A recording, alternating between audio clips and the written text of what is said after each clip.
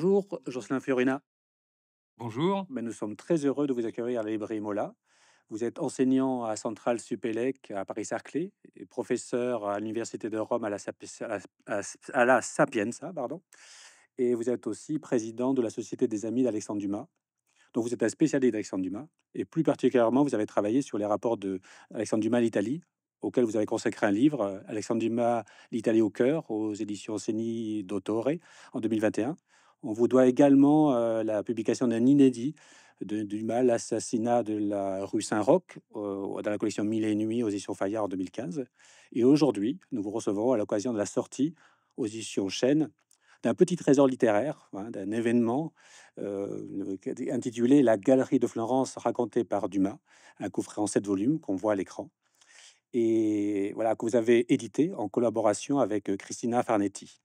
Alors avant de rentrer dans le vif du sujet, je voudrais vous poser la question, c'est comment on tombe amoureux de l'œuvre d'Alexandre Dumas? Tout d'abord, je voudrais vous remercier de, m'accueillir et de me permettre de partager avec vous ce, trésor d'Alexandre Dumas, justement, que je, que je suis très heureux euh, de, rendre enfin à son public. Et euh, un public très large. Alexandre Dumas est un des, des écrivains les plus appréciés au monde. Et moi-même, j'étais un lecteur euh, amoureux de Dumas euh, dans mon, adolescence, avec Les Trois Mousquetaires, avec Le Comte de Monte Cristo. Mais c'est plus tard que j'ai redécouvert Alexandre Dumas. Donc je suis, professeur, à Paris, mais aussi à Rome, à l'université La Sapienza et c'est lors d'un de mes séjours, romains qu'en lisant le journal, La Repubblica, j'ai découvert le côté italien d'Alexandre Dumas. Parce qu'à l'époque, c'était en 2013, il, heu, republiait en Italie les écrits de Dumas sur la mafia napolitaine, sur la camorra. Et il y avait une double page dans la Repubblica et les Italiens étaient, heu, ébahis comme ils adorent aussi Alexandre Dumas, c'est un des auteurs les plus lus aussi en Italie. Et donc, heu, ils redécouvraient le Dumas italien et moi-même je redécouvrais le Dumas italien et donc j'avais ce point commun avec Alexandre Dumas d'être amoureux de l'Italie et ça ça m'a amené à redécouvrir, l'écrivain qui était et notamment, le fait, j'ai découvert le fait qu'il avait vécu à Naples, qu'il avait vécu à Florence. À Naples, il avait créé un journal qui s'appelle l'Indipendente et dans lequel, il écrivait chaque jour en italien de mille huit 1860 à 1864 pour aider Garibaldi dans l'unité italienne et dans ce journal, il y avait des nouvelles qui n'avaient jamais été traduites en français et donc j'ai eu l'idée un jour de traduire, heu, une de ces nouvelles, d'être le premier traducteur en français d'Alexandre Dumas et c'est à ce moment-là que j'ai publié, heu, L'assassinat de la rue Saint-Roch et c'est la première pépite, heu, qui m'a mené jusqu'au trésor, que l'on révèle aujourd'hui, qui est la Galerie de Florence.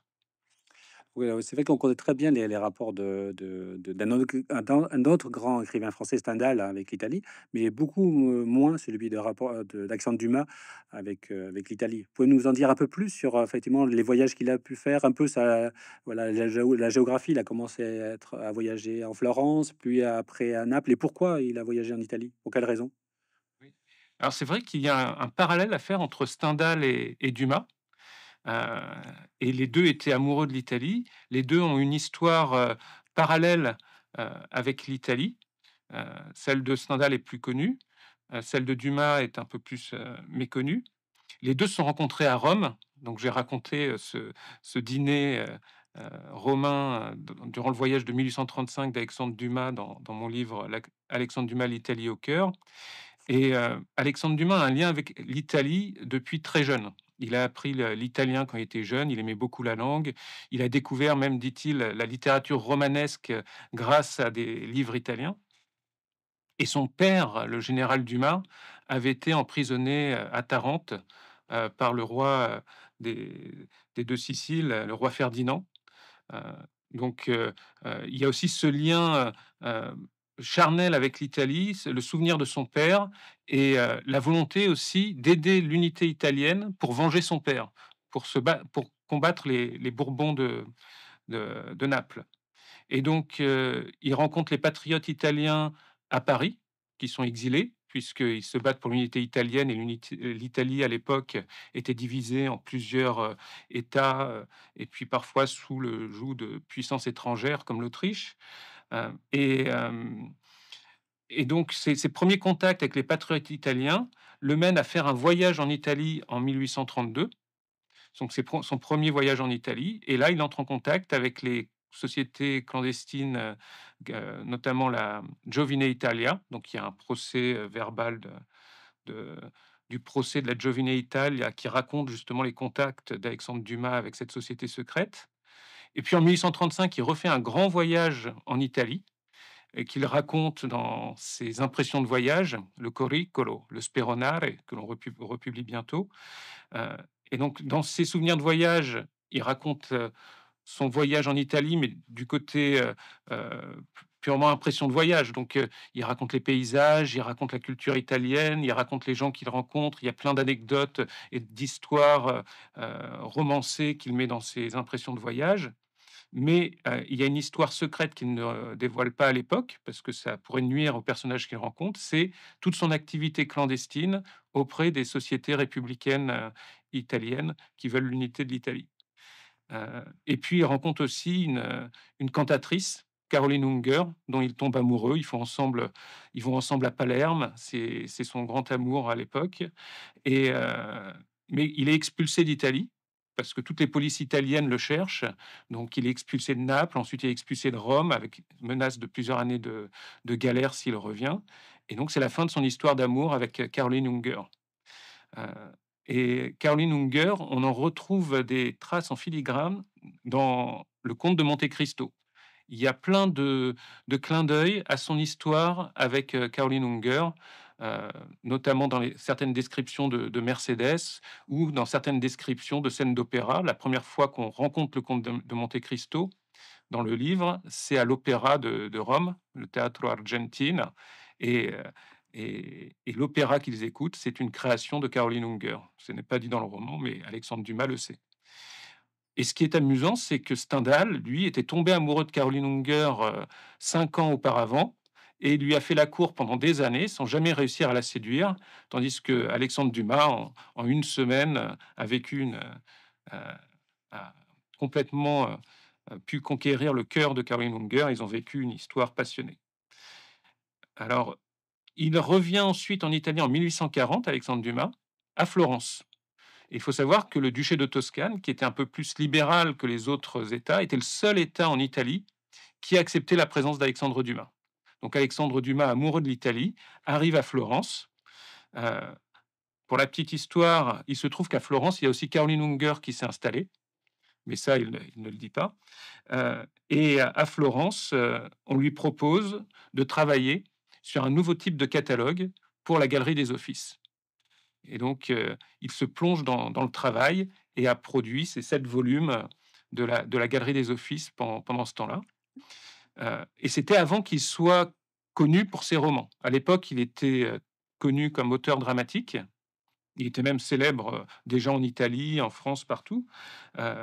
Mais c'est après avoir écrit La Galerie de Florence, en rentrant en France, qu'il publiera Les Trois Mousquetaires et Le Comte de Monte Cristo.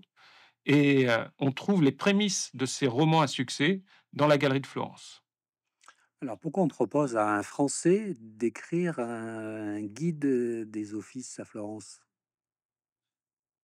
C'est une bonne question. En fait, il y a un, mouvement à Florence. ils veulent faire connaître, ils veulent en, quelque sorte écrire le, roman national de, de- Florence. Donc, ils veulent diffuser ce patrimoine culturel en Italie, mais aussi dans le reste du monde. Et donc, ils prévoient de faire une édition italienne avec un écrivain italien, un historien de l'art, euh, il s'appelle. Et puis, euh, pour la version française, dès qu'ils apprennent qu'Alexandre Dumas est arrivé à Florence, ils lui demandent de travailler sur la version française. Et ils envisageaient même une version anglaise qui n'a jamais été euh, faite. Et comment ça a été reçu le fait qu'un Français euh, s'occupe? Parce que j'ai compris qu'il était beaucoup plus payé que Ranelli. Il était, bien plus payé que, que Ranalli. Alors, bien sûr, ça, ça a créé une certaine fascination du côté du public, mais un rejet du côté des spécialistes. Donc les, spécialistes se plaignaient du, fait que Alexandre Dumas écrive sur l'histoire de l'art sans être un, scientifique, sans être un historien. Euh, ils ont même publié des petits fascicules en, relevant toutes les erreurs qu'il- que Alexandre Dumas aurait commises dans, dans ses écrits. Euh, et la même chose se passe des années plus tard, quand Alexandre Dumas, en 1860, rejoint Garibaldi en Sicile et à Naples. Garibaldi le nomme directeur du Musée national et des fouilles de Pompéi. Et là, levé de bouclier, il y a plein euh, d'Italiens qui écrivent à Garibaldi disant Mais c'est scandaleux de nommer un Français euh, directeur euh, des fouilles de Pompéi, nommer un Italien. et, il y a toute une cabale contre Alexandre Dumas. Il en souffre beaucoup parce qu'il était très attaché au peuple italien et, au pays euh, et à l'Italie. Et, et puis c'était assez injuste en fait ces critiques parce que c'était vraiment un amoureux de l'art et il voulait partager cet amour et il voulait euh, euh, diffuser le, le savoir au plus grand nombre. Et donc, son- sa plume permettait au plus grand nombre d'avoir accès à l'histoire de l'art, à la connaissance des, des peintres de la Renaissance, et- etc. Et lui-même était très érudit. Euh, il avait une connaissance euh, euh, encyclopédique. Il s'est appuyé bien sûr sur des, ouvrages de référence de l'époque, mais lui-même avait un- une connaissance encyclopédique. Aux archives de la Bibliothèque de France, il y a le carnet de voyage d'Alexandre Dumas de 1835. Donc, quand il a fait son grand tour de, de l'Italie, avant son installation en 1840 à Florence. Et en 1835, déjà, il passe par Florence. Il va au musée des Offices. Et on retrouve dans son carnet de voyage toutes les notes qu'il a prises sur les tableaux, sur les peintres, sur les Médicis. Et on voit même une liste de tableaux. Et la liste de tableaux qu'il présente dans son carnet de voyage correspond aux, aux tableaux qui sont présentés au début de, la galerie des tableaux dans, la galerie de Florence. C'est-à-dire que le plan lui-même qu'il avait à l'époque pensé se retrouve dans cet ouvrage, euh, euh, cinq ans plus tard, euh, cet ouvrage de référence d'histoire de l'art. Alors, on voit bien, c'est un très beau coffret avec 7 volumes. Est-ce que vous pouvez nous évoquer mais, euh, de quoi est constitué ces volumes? Le premier volume? Vraiment toute la générosité euh, d'Alexandre Dumas, sa plume féconde. Donc, euh, ce n'est pas un simple catalogue avec les chefs-d'œuvre, les plus grands chefs-d'œuvre de la galerie des, offices qui sont commentés par Alexandre Dumas. Alexandre Dumas en profite pour faire une préface sur les créateurs de la galerie des offices. Donc, il faut rappeler que la galerie des offices, c'est le premier musée en Italie. Euh, donc, il, il fait le premier volume sur l'histoire des Médicis qui ont créé la Galerie des Offices. Donc, c'est l'histoire des Médicis. Et l'histoire des Médicis, c'est l'histoire de Florence, mais c'est les Médicis, c'est Florence à l'époque de Machiavel. Donc, ça devient aussi un traité politique. C'est fascinant. Ensuite, le deuxième volume, c'est l'histoire de la peinture. Donc, l'histoire de l'art depuis les Antiquités jusqu'à euh, la Renaissance et même au-delà. Et donc là, c'est fantastique parce que non seulement il raconte l'histoire de l'art, mais en même temps, il raconte l'histoire des civilisations où l'art s'est développé. Donc il raconte euh, la civilisation grecque, il raconte la civilisation romaine, euh, il raconte l'éclosion de l'école italienne et, de, et la Renaissance enfin. Et donc il y a aussi non seulement l'histoire de la peinture, l'histoire de la sculpture, mais il y a en même temps tous les grands conflits euh, qui ont jalonné ces, évolutions, racontées avec la, verve de Dumas. Le troisième volume, c'est l'histoire des peintres. Et là, c'est des biographies de peintres. Donc il y a une trentaine de biographies de peintres dans ce troisième volume, mais on trouve d'autres biographies de peintres dans les autres volumes, hein, euh, un peu éparpillées dans, les autres volumes. Mais le troisième volume, c'est 30, une trentaine de biographies de peintres qui se lisent comme des nouvelles chacune. Donc on peut les, les lire indépendamment, mais en même temps elles sont interconnectées. Donc c'est fantastique. C'est des, des nouvelles interconnectées entre elles qui nous apprennent beaucoup sur l'histoire de l'art, sur l'histoire des, des grands peintres, mais racontées encore une fois avec la plume de Dumas, c'est-à-dire qu'on y trouve l'amour, la passion, la rivalité, euh, les aventures. C'est tout à fait euh, passionnant. Et enfin, les volumes qui suivent, ce sont des tableaux de la Galerie des Offices. Donc le quatrième volume, c'est une collection unique en son genre que l'on trouve à la Galerie des Offices, qui est une collection d'autoportraits de peintres.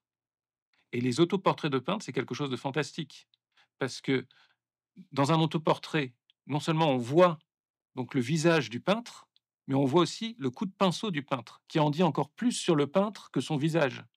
Donc c'est une façon de dévoiler le peintre extrêmement puissante, hein, l'autoportrait. On voit à la fois le style du, peintre et, son visage, tel que lui-même se voit. Donc c'est une collection unique. Euh, donc là, on a euh, une centaine d'autoportraits euh, tels qu'ils étaient à l'époque à la Galerie des Offices. Alors ces autoportraits, au départ, Dumas devait s'appuyer sur ces autoportraits pour écrire ses biographies. Mais alors bien sûr, il s'est aussi affranchi de cette règle. Il a raconté des biographies de peintres qui ne sont pas dans les autoportraits, et puis il y a certains autoportraits pour lesquels il n'a pas écrit de, biographie. Mais c'est quand même au cœur de, la création de la Galerie de Florence, cette série d'autoportraits. Euh, alors la série d'autoportraits en elle-même n'est pas euh, commentée par Alexandre Dumas. Donc le troisième euh, le quatrième volume qui contient la centaine d'autoportraits de peintres n'a pas de texte de Dumas, si ce n'est une introduction que l'on a mise où Alexandre Dumas raconte quand il rentre dans la, dans la salle des autoportraits du musée des Offices. Donc, qui vient des impressions de voyage d'Alexandre Dumas. Et pour qui est ce, ce texte d'introduction d'Alexandre Dumas, on l'a mis dans, dans la galerie de Florence. Donc, il raconte son, son émerveillement dans la salle des autoportraits du musée des Offices. Et puis ensuite, on a la centaine d'autoportraits tels que Dumas avait pu les voir à l'époque. Alors, ce qui est à, savoir sur ces tableaux, c'est qu'à l'époque, il y avait bien sûr pas de photographie et pas de reproduction couleur, mais il y avait d'excellents graveurs. Donc, ils ont embauché les meilleurs graveurs de Florence, mais même au-delà, en Europe, pour reproduire chacun des tableaux. Et à chaque fois, il y a plusieurs artistes qui travaillent sur une gravure. Il y a le dessinateur qui reproduit le tableau en dessin, et puis ensuite il y a le graveur qui transforme le dessin en une gravure qui est reproduite. Donc ce sont des véritables œuvres d'art en elles-mêmes, les gravures. Donc on a mis les gravures d'époque, et en plus, on a mis, grâce au partenariat avec le musée des Offices, d'ailleurs le directeur du musée des Offices a écrit la préface pour la galerie de Florence, le directeur actuel qui est Simone Verde, euh, et grâce au musée des Offices, on a pu mettre les photos couleurs, donc les, en haute définition, de chacun des tableaux, ce qui permet de voir la gravure et le tableau actuel. Et c'est très intéressant de comparer les deux. Les deux sont des, œuvres d'art. La gravure en elle-même est une œuvre d'art. Et puis on a le, le véritable tableau. Euh, et puis on voit parfois des différences entre la gravure et le tableau. Parce que au fur et à mesure des restaurations, les restaurateurs ont rétabli des éléments du, tableau qui avaient été changés par d'autres restaurateurs. Donc on voit par exemple des cols qui changent, euh, des fraises qui deviennent des cols plus euh, classiques, on voit des fonds qui changent. Bref, on voit l'évolution du tableau grâce à la confrontation entre la gravure et, et le tableau. Et puis ce qu'il faut savoir aussi, c'est que euh, les historiens de l'art travaillent beaucoup à l'identification des peintres des tableaux. Et encore aujourd'hui, ils cherchent à qui attribuer les tableaux, même s'ils ont déjà été attribués dans le passé, où il y a pu y avoir des erreurs, et ce qui fait qu'il y a des changements d'attribution des tableaux, même des grands chefs-d'œuvre, au cours de l'histoire. Il y a à peu près euh, 20% des tableaux, ou un tiers des tableaux qui ont changé d'attribution dans, dans la galerie de Florence, depuis sa publication en 1840 et aujourd'hui. Mais en particulier, dans la galerie des autoportraits, la moitié des autoportraits ont changé d'attribution et voire même ne sont plus considérés comme des autoportraits. Ce qui s'explique par le fait que les Médicis voulaient absolument avoir une collection d'autoportraits et ils étaient prêts à en payer n'importe quel prix. C'est ce que raconte Dumas d'ailleurs dans l'histoire des Médicis. Et donc, euh, il y avait quelques vendeurs peu scrupuleux qui essayaient de faire passer des, de simples portraits comme des autoportraits. Et parfois, ils rajoutaient même une palette de peintres dans la main du portraituré. Donc, il y a une cinquantaine de, il y a la moitié des, presque la moitié des, autoportraits qui ne sont plus aujourd'hui reconnus comme des autoportraits. Et ça, on a mis des petites notes pour l'expliquer. Mais c'est aussi fascinant de voir cette évolution euh, des tableaux, l'histoire des tableaux, pourquoi ils sont attribués à quelqu'un un moment, pourquoi ça change à un autre moment. Il y a par exemple l'autoportrait de Léonard de Vinci, donc à l'époque qui était considéré comme un autoportrait de Léonard de Vinci dans la collection des Médicis. Mais au XXe siècle, on a fait une radio et on a vu sous l'autoportrait de Léonard de, Vinci une, une peinture d'une Madone peinte 100 ans après la mort de Léonard de Vinci. et donc ça ne pouvait plus être un autoportrait de Léonard de Vinci. Ça confirmait le fait que ce n'était pas en fait un autoportrait de Léonard de Vinci. Donc ça, c'est pour l'histoire des autoportraits, donc collection fascinante, aussi bien pour ce que représente un autoportrait, mais même pour l'histoire des tableaux qui ont changé d'attribution. Et enfin, les 3 derniers volumes, ce sont des chefs-d'œuvre de la Galerie des Offices, commentés par Alexandre Dumas. Et heu, on y a de vérita on y trouve de véritables pépites dans les commentaires de Dumas, heu et parfois ce sont des il en profite pour, heu, écrire une nouvelle biographie d'un peintre. Parfois, il raconte, par exemple dans un des tableaux de Salaï, le, disciple de Léonard de Vinci, raconte comment Léonard de Vinci, en se promenant dans les rues de Milan, rencontre, le un un jeune enfant qui sera plus tard son disciple et donc c'est raconté avec plein de vie. Un autre moment, il raconte Dante qui se promène dans les rues de Florence et rencontre sa muse. Bref, les commentaires des tableaux, heu, sont racontés avec beaucoup de vie et sont passionnants à lire. Comment vous expliquez que ce trésor a a di a disparu aussi longtemps qu'il est qu'aujourd'hui il est redécouvert que simplement aujourd'hui? Alors, heu, c'est une très bonne question. Heu, alors c'est c'est un chef-d'œuvre qui était en voie de disparition. Il en restait plus qu'une dizaine de d'exemplaires dans le monde, une dizaine d'exemplaires complets en 2024, début 2024, avant qu'on qu'on le publie. Les spécialistes même pensaient qu'il n'en restait que 2 ou 3 exemplaires dans le monde et ça s'explique en fait par son mode de production. Il a été, il a été produit à Florence, donc publié à Florence et il était publié sous forme de souscription. C'est-à-dire que les lecteurs payaient un abonnement et tous les mois, ils recevaient une dizaine de pages qui comprenaient 3 gravures et un autoportrait en gravure et une dizaine de pages écrites de la main d'Alexandre Dumas.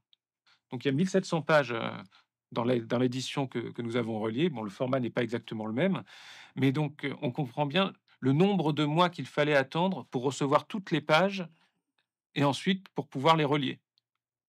Car il n'y avait pas de volume officiel relié. C'est chaque lecteur qui devait faire ses propres volumes une fois qu'il avait reçu toutes les pages et la publication de toutes les pages a duré une vingtaine d'années. Et puis ceux qui pouvaient se permettre de payer ce cet abonnement, alors on a la liste des souscripteurs, mais c'est, c'est c'est c'est des personnes fortunées, c'était des érudits fortunés parce que c'est la qualité de la des gravures, la qualité de la production faisait que ça avait un un certain coût. Est-ce qu'il a travaillé tout seul? Parce qu'on savait qu'il qu'il a travaillé avec des aides, enfin, dans dans sa création littéraire. Est-ce qu'il a travaillé avec d'autres personnes pour ce cette galerie de Florence? Alors il y a eu un procès d'ailleurs, heu, avec Maquet, son collaborateur pour Les Trois Mousquetaires, Le Comte de Monte Cristo et Dumas dans les années, heu, 45, heu, où justement il déballait tous les collaborateurs qu'il avait eus pour les diverses œuvres et il y avait une œuvre pour laquelle il était particulièrement fier et dans le procès-verbal du, heu, du tribunal, il raconte comment Alexandre Dumas prend un des fascicules de la Galerie de Florence, le tend, le montre au public en disant: «Regardez cet ouvrage magnifique, celui-là, je l'ai écrit tout seul» et heu, alors il s'appuyait sur des sources, sur les meilleures sources possibles qui avaient été publiées, heu, à l'époque. Et puis il y a une référence qui est Giorgio Vasari qui a écrit les vies des peintres, heu et donc qui est un grand classique et donc Alexandre Dumas s'est appuyé là-dessus et s'est appuyé sur d'autres références que l'on cite dans, heu, dans dans les préfaces. Il s'est aussi appuyé sur les, heu, sur les écrits de Stendhal. Il avait un collaborateur, heu, qui était Hector Garriot. Mais Hector Garriot, heu, quand donc au bout d'une dizaine d'années, Alexandre Dumas est passé à autre chose. Hector Garriot a voulu continuer la publication et donc il publiait, lui, des commentaires signés de la Hector Garriot et on voit bien que le style est complètement différent. On les a pas mis dans dans dans le coffret parce que ça ça n'avait plus rien à voir avec ce qu'écrivait Du Dumas. Donc Hector Garriot n'écrivait pas pour Alexandre Dumas. À la rigueur, il lui fournissait des des éléments sur les peintres et cetera, mais c'était vraiment Heu et puis, il y a une autre chose, heu, Alexandre Dumas faisait, c'est qu'il regardait ce que ce que faisait l'historien de l'art, heu, Ranalli, quand il écrivait sa version italienne et il pouvait s'en inspirer. Bon ça, on l'a on l'a indiqué à chaque fois qu'il y a un texte qui est inspiré par ce qu'avait écrit Ranalli, on l'a écrit, mais souvent Alexandre Dumas change les tournures d'une manière à rendre le texte remarquable. Il y a vraiment des des tournures qui sont propres à Dumas, même quand il a jeté un œil sur ce qu'avait écrit Ranalli. Mais en fait, le plus grand secret, dans la Galerie de Florence, son collaborateur, son véritable collaborateur pour publier ces 7 volumes, c'est Alexandre Dumas fils. En fait, la Galerie de Florence, c'est une œuvre d'un père et de son fils, Alexandre Dumas père et Alexandre Dumas fils. Et c'est même la première œuvre écrite par Alexandre Dumas fils. La première véritable œuvre écrite par Alexandre Dumas fils qui va, ensuite le lancer dans la carrière d'é d'écrivain, et donc il crée une dynastie, Alexandre Dumas. Il amorce une dynastie d'écrivains avec la Galerie de Florence en mettant son fils à contribution. Alors bien sûr, il le met à contribution, mais ce n'est pas officiel. Donc il n'est pas auteur officiel de la Galerie de Florence, mais on a retrouvé des lettres entre le père et le fils, heu heu, attestant du fait que certaines pages sont écrites par Alexandre Dumas fils. Et heu, je voulais juste reprendre le premier volume, c'est peut-être le volume le plus romanesque, heu, finalement, l'histoire de Médicis. Mais j'ai cru comprendre, en fait, qu'il avait déjà publié peut-être des éléments qu'on trouve dans dans le dans cette ou dans cette histoire de Médicis dans Une année à Florence. Vous pouvez nous éclairer, en fait, sur ce voilà, ce ce Alors, travail? ce ça a été un véritable trésor pour Alexandre Dumas, la Galerie de Florence, parce qu'il en a récupéré des morceaux tout au long de sa carrière pour en republier des volumes, pour republier des feuilletons et même à, combien 20 ans après, quand il est parti en Sicile, heu, pour écrire pour créer son journal L'Indipendente. Dans le journal L'Indipendente, il sortait en feuilleton certaines en italien, certaines des biographies qu'il avait publiées dans la Galerie de Florence déjà.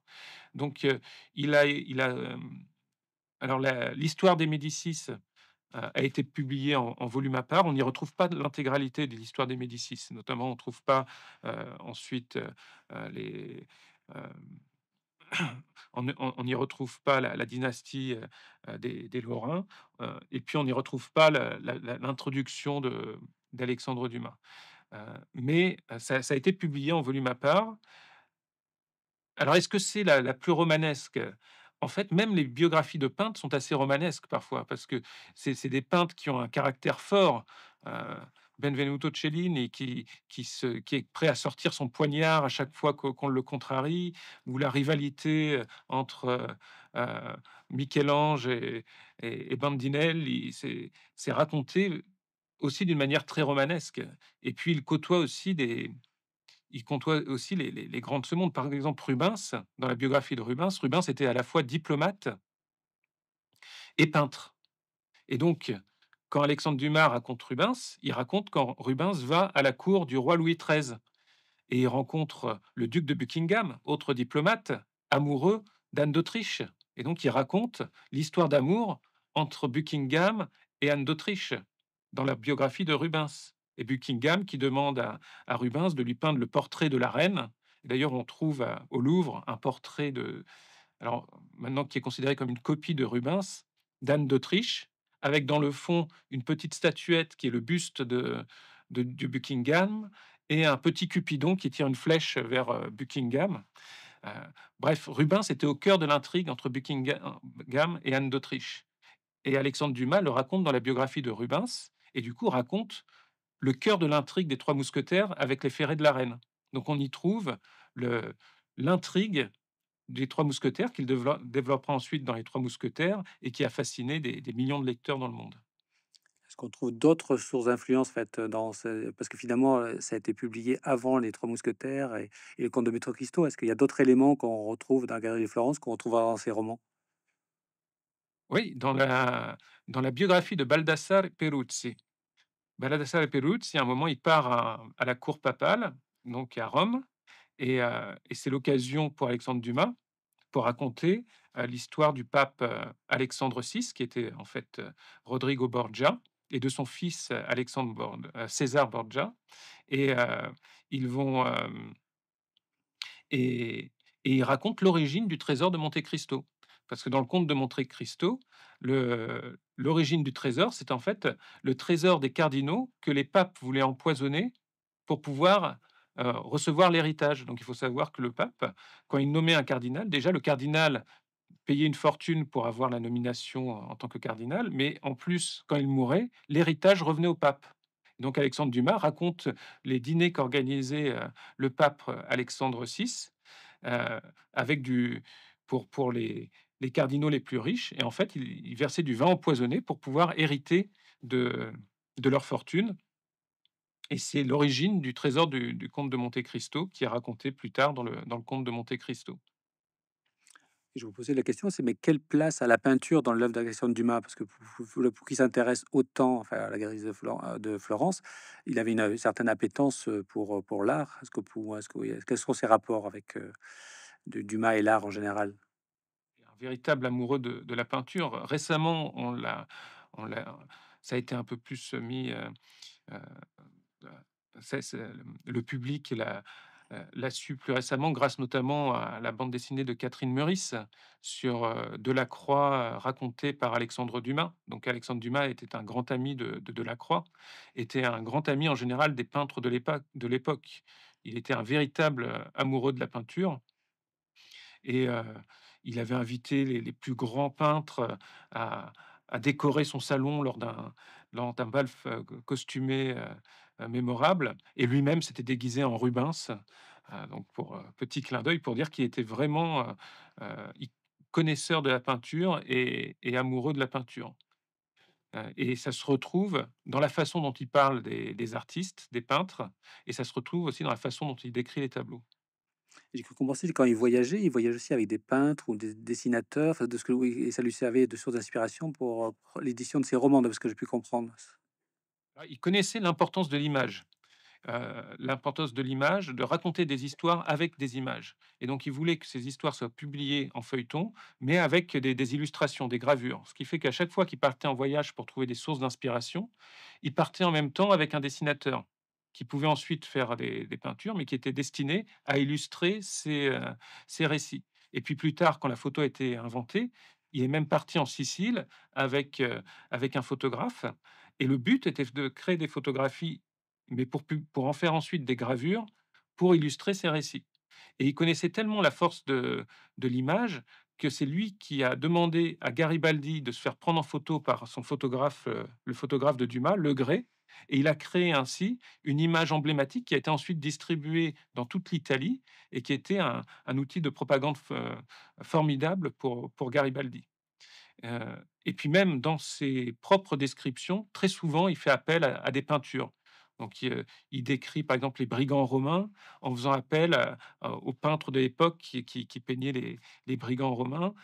Il décrit la la main d'Athos dans, dans 20 ans après, en en invoquant, le Titien et puis, il construisait lui-même et puis c'était aussi, il vient du théâtre, donc il avait aussi une, image de ce qu'il voulait raconter. Donc, l'image est vraiment, au cœur de ses écrits. C'est un amoureux de la peinture et il connaît la force de l'image et c'est pas un hasard, pour moi que, ce soit un des écrivains les plus adaptés au cinéma. C'est parce qu'il y a déjà la force de l'image. C'est le le cinéma en puissance, Alexandre Dumas, heu et et c'est d'ailleurs, heu, Le Comte de Monte Cristo qui a été le tout premier film filmé à à Hollywood. J'ai cru comprendre en fait que l'ouvrage a été dédicacé à Nicolas Ier, un empereur russe. Donc c'est un peu étrange, un livre sur la peinture italienne fait par un Français dédicacé à, à Nicolas Ier. Oui. étrange. Alors en fait, il il voulait le le dédicacer au au duc d'Orléans, le fils, de Louis-Philippe. Le duc d'Orléans était à l'époque considéré comme un un une figure républicaine, en fait. C'était bien qu'il soit le fils de Louis-Philippe, il était considéré comme étant très libéral et et et un et un symbole aussi pour les républicains, pour un espoir vers une évolution plus républicaine du régime et le duc d'Orléans est mort en 1842 dans une chute de cheval.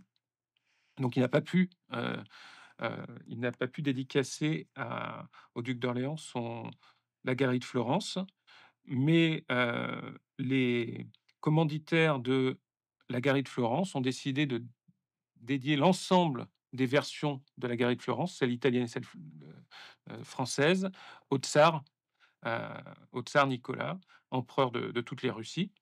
Euh, mais Alexandre Dumas n'était pas contre parce que déjà il avait dédié un, premier ouvrage au tsar. Il pensait que c'était un, empereur qui, avait le souci aussi des, arts, qui était un mécène pour les arts, qui pouvait soutenir les, écrivains, qui pouvait soutenir les, artistes, les, peintres. Il espérait qu'en France, on ait un, un, gouvernant qui, qui ait la, même appétence pour les arts. Donc il, voyait ça en, voyant le tsar, bien que politiquement il se soit opposé aussi à, lui. Mais alors c'est ce qui est très euh, paradoxal chez Alexandre Dumas, il y a toujours des paradoxes, mais lui-même vient de, mondes paradoxaux, puisqu'il est à la fois petit-fils d'esclaves et petit-fils de euh, possesseurs d'esclaves. Euh, il est à la fois, il provient à la fois de familles très modestes, mais en même temps de familles nobles. Il était marquis de la pailleterie. Euh, donc il y a tous ces paradoxes chez lui. Il est très républicain, mais en même temps, il est très attaché à, tous les monarques, aux rois et reines. Euh, et donc, euh, il espérait en même temps être en contact avec le tsar, pouvoir faire un voyage en Russie, chose qu'il fera plus tard. et, et puis, il y a une, petite anecdote aussi sur le caractère d'Alexandre Dumas. Il aimait beaucoup les décorations. Donc, il espérait sans doute aussi une, décoration. Il faisait collection des, décorations. Il espérait sans doute une petite décoration ou une grosse décoration de la part du, tsar. J'ai retrouvé une lettre qu'il avait écrite au pape en lui demandant une décoration de l'ordre des, des chevaliers du Christ et il demandait pas celle qui s'accroche, celle qui se met autour du cou. et alors il n'a jamais reçu cette décoration euh, mais dans le, dans le comte de Monte Cristo, eh ben, puisqu'il n'a pas reçu, eh ben, il donne la décoration au comte de Monte Cristo, et c'est le comte de Monte Cristo lui-même qui se l'octroie euh, en se déguisant euh, en prêtre. Vous avez parlé qu'il existait qu'une dizaine d'originaux de la galerie de Florence, sur lesquels vous vous êtes appuyé pour cette publication? Alors, il y en a deux principaux. et qui se complètent parce qu'en fait, on a, c'est assez rare d'avoir des, des, exemplaires totalement complets. Donc il y a la version qui est à la Galerie des Offices. Et puis en France, il y a une version qui est conservée à l'Académie française, à la bibliothèque de l'Académie française. Donc on a eu... on a eu la chance d'avoir le haut patronage à la fois de la Galerie des Offices et de l'Institut de France, l'Académie française, pour pouvoir avoir accès à ces, volumes. Et en particulier, pour les gravures, on a pu les reproduire de la manière la plus fidèle possible en s'appuyant sur les volumes qui sont à l'Académie française. Et combien vous, de temps ça vous a pris pour euh, ben, ce travail, pour réunir euh, tous ces volumes, euh, compiler les textes voilà? Alors, il y a, plusieurs tâches qui, étaient, qui prenaient du temps. En tout, on a mis à peu près deux ans. Donc, il y a un travail à la fois scientifique, un travail de recherche. Il faut aller rechercher aussi des tableaux qui aujourd'hui étaient complètement méconnus et dont on n'avait plus que, que la gravure, sachant que, les, comme, comme j'ai expliqué, les attributions changent. Donc, la plupart, souvent, on avait des attributions qui n'étaient plus les bonnes et des gravures qui, donc, pour lesquels il fallait retrouver le, tableau qui était parfois méconnu aujourd'hui. Et puis, il y a tout un travail d'édition sur le texte aussi, parce que il était publié à l'époque donc sous forme de feuilleton, une dizaine de pages chaque mois, mais il était édité en Italie chez un imprimeur italien, donc qui connaissait pas très bien peut-être le, français, ce qui fait qu'il y avait beaucoup beaucoup de coquilles dans le texte. Euh, la ponctuation était aléatoire et le texte lui-même n'était pas édité, c'est-à-dire, c'était quand on mettait toutes les pages bout à bout, ça, faisait un, fleuve de, textes, de, mots, mais il n'y avait pas de chapitrage, par exemple. Donc, on a fait vraiment un travail d'édition sur le, sur le texte pour que quelque chose qui paraissait en feuilleton puisse être lu sous forme de volume et que ça soit agréable à lire. Et puis ensuite, il y a aussi tout un travail pour pouvoir établir les partenariats nécessaires avec la Galerie des Offices, par exemple, pour avoir accès à ces tableaux. Il faut savoir qu'il y a des des tableaux, donc on a voulu mettre les les reproductions couleurs des tableaux à côté des gravures et il y a des tableaux qui n'ont jamais été pris en photo, auparavant. Donc il y a des tableaux pour lesquels on a une photo couleur pour la première fois grâce à la Galerie de Florence et grâce au partenariat avec le Musée des Offices. Il a fallu aussi faire le partenariat avec, l'Institut de France pour avoir accès au au volume qui est en France et parfois les tableaux n'étaient plus au Musée des Offices. Ils ont été éparpillés un peu partout. Il y en a qui sont perdus, donc on sait qu'ils sont perdus. On a on a retrouvé dans les inventaires qu'ils ont, par exemple, été prêtés, heu, au ministère des Affaires étrangères en Italie en en 1940 et après il a disparu. Ou bien, heu heu, il y a des œuvres qui ont été, brûlées dans des incendies suite au bombardement pendant la guerre ou qui ont été volées. Donc on n'a que des photos, heu, noir et blanc parce qu'à l'époque, il y avait pas encore de de photos couleurs et puis il y a des tableaux qui étaient dans des préfectures, où il fallait aller dans, le bureau de la directrice, pour retrouver le le tableau qui avait été mis là et le prendre en photo, pour la première fois. Donc notamment, c'est un un saint Paul à la préfecture de Massa Carrara, de Véronèse, qui aujourd'hui n'est plus attribué à Véronèse, mais qu'on a été retrouvé là-bas et donc j'ai moi-même, guidé le photographe du musée des Offices jusqu'à cet endroit, depuis Paris. Je vais payer un Uber pour qu'il puisse aller retrouver, la petite fourgonnette dans lequel mettre ses appareils. Donc je voyais le le trajet en voiture sur mon sur mon écran, jusqu'à ce qu'il puisse aller prendre les les photos des œuvres. Bref, il y avait toute une logistique aussi à mettre en place. Alors c'est un beau coffret. Vous vous pensez que ça va attirer les que les amateurs d'art ou les amateurs d'Alexandre Dumas, les 2? Ben, les amateurs d'art, les amateurs d'Alexandre Dumas, les amateurs de littérature, les amateurs d'histoire. Puis c'est une année Dumas aussi, heu, le le Comte de Monte Cristo a fait plus de 9 000 000 d'entrées, à raison parce qu'Alexandre Dumas, heu, il a raconté des histoires qui sont notre patrimoine commun. Et donc là, on a fait revivre un patrimoine français, un patrimoine italien, un patrimoine culturel franco-italien, même un patrimoine, culturel européen et c'est des histoires qui sont qui qui sont qui ont été écrites pour être partagées par le plus grand nombre et pour plaire au plus grand nombre et pour avoir, une histoire commune à partager les uns avec les autres. Donc je pense que ça peut plaire, au plus grand nombre et le but aussi, c'est de donner accès au plus grand nombre à l'histoire, heu, à l'histoire de l'art, pour connaître toutes ces tous ces mer merveilleux chefs-d'œuvre, pas mieux que la plume d'Alexandre Dumas. Il y avait peut-être une dimension politique aussi dans cet, ouvrage-là, en fait, constitué par, heu, l'idée de créer une nation italienne. Est-ce qu'il y a cette idée-là pour Alexandre Dumas de créer une histoire nationale, à travers ce oui, c'est ce que dit le directeur actuel du Musée des Offices dans la préface, Simone Verde.